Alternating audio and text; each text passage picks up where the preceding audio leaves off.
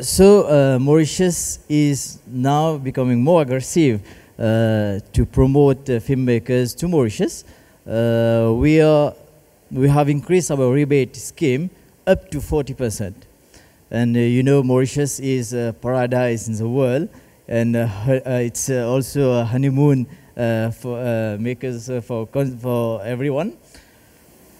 So uh, we had uh, Breakup Guru Shot in Mauritius, a production from China, which increased uh, tourists from China uh, to Mauritius, and it was a blockbuster in, in China.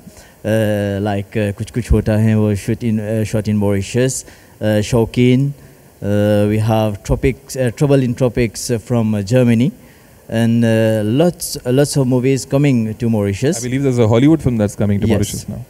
Uh, we'll have uh, very shortly a Hollywood uh, film shot uh, will be shot in Mauritius 100% with all the VFX and everything. And so that uh, we are here to promote uh, Mauritius as your next next destination. And we know that Mauritius was overexposed in the in in the 90s. Uh, so they move a bit away.